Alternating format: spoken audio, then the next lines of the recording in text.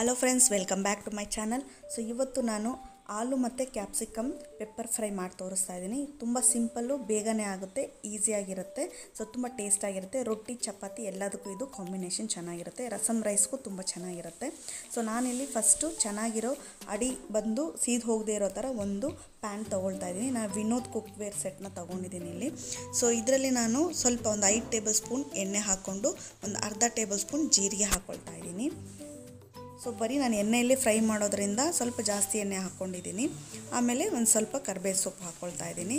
ಸೀದಕ್ಕೆ ಬಿಡಬೇಡಿ ಮೀಡಿಯಮ್ ಫ್ಲೇಮಲ್ಲಿ ಇಟ್ಕೊಂಡು ಚೆನ್ನಾಗಿ ಕಲರ್ ಚೇಂಜ್ ಆಗದಿರೋ ಥರನೇ ಹಾಗೆ ನೀವು ಫ್ರೈ ಮಾಡಬೇಕೆಲ್ಲದನ್ನು ಇಲ್ಲಿ ಒಂದು ಚಿಕ್ಕ ಆನಿಯನ್ಸು ಎರಡು ತೊಗೊಂಡಿದ್ದೀನಿ ನಾನು.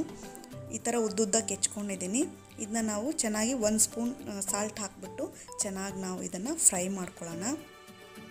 ಸೊ ಆನಿಯನ್ ಈ ಥರ ಹೆಚ್ಚಿದ್ರೆ ಚಿಕ್ಕ ಚಿಕ್ಕ ಆನಿಯನ್ ಹಾಕಿದ್ರೆ ಬೇಗ ಫ್ರೈ ಆಗುತ್ತೆ. ಸೊ ನೋಡಿ ಇಷ್ಟು ಫ್ರೈ ಆದರೆ ಸಾಕು. ಒಂದು eighty to ninety percent fry fry ಆದರೆ ಸಾಕು. ಮಿಕ್ಕಿದ ನಾವು ತರಕಾರಿಗಳನ್ನ ನಾವು ಮತ್ತೆ ಎಣ್ಣೆಯಲ್ಲೇ ಫ್ರೈ ಮಾಡ್ತೀವಿ. ಅದ್ರ ಜೊತೆಗೆ ಆನಿಯನು ಚೆನ್ನಾಗಿ ಫ್ರೈ ಆಗುತ್ತೆ. ಸೊ ಚೆನ್ನಾಗಿ ಇವಾಗ ಫ್ರೈ ಆಯಿತು.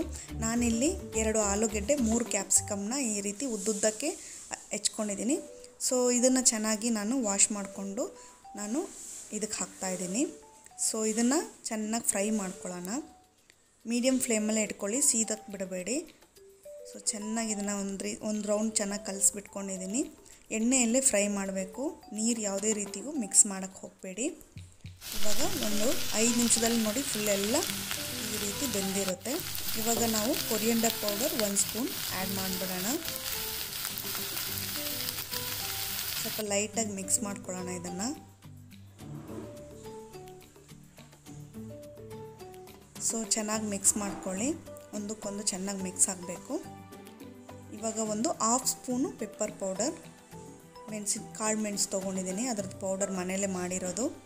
ಸೊ ಒಂದು ಅರ್ಧ ಸ್ಪೂನ್ ತೊಗೊಂಡಿದ್ದೀನಿ. ನೆಕ್ಸ್ಟ್ ಇದನ್ನು ಚೆನ್ನಾಗಿ ಫ್ರೈ ಮಾಡ್ಕೊಳ್ಳಿ. ಎಣ್ಣೆಯಲ್ಲಿ ಚೆನ್ನಾಗಿ ಒಂದು ನಿಮಿಷ ಫ್ರೈ ಆದರೆ ಸಾಕು. ನೀಟಾಗಿ ಫ್ರೈ ಆಗಿ, ಆಯಿತು. ರೆಡಿ ಆಯಿತು ಅಷ್ಟೇ. ಸೊ ಇನ್ನೇನು ಎಕ್ಸ್ಟ್ರಾ ಆ್ಯಡ್ ಮಾಡಬೇಕಾದ ಅವಶ್ಯಕತೆ ಇಲ್ಲ. ತುಂಬ ಚೆನ್ನಾಗಿ ಫ್ರೈ ಆಗಿ ಮಾಡೋಕ್ಕೆ ಬಿಟ್ಬಿಡಿ. ಸಖತ್ತಾಗಿರುತ್ತೆ ಟೇಸ್ಟು ಸೊ ಈ ವಿಡಿಯೋ ನಿಮಗೆ ಇಷ್ಟ ಆಗಿದೆ ಅಂದ್ಕೊಂಡಿದ್ದೀನಿ ಇಷ್ಟ ಆದರೆ ಒಂದು ಲೈಕ್ ಕೊಡಿ ಫ್ಯಾಮಿಲಿ ಫ್ರೆಂಡ್ಸ್ಗೆ ಶೇರ್ ಮಾಡಿ. ಸೊ ನನ್ನ ಚಾನಲ್ಗೆ ಹೊಸಬ್ರಾದರೆ ಸಬ್ಸ್ಕ್ರೈಬ್ ಮಾಡೋದನ್ನ ಮರಿಬೇಡಿ. Take care bye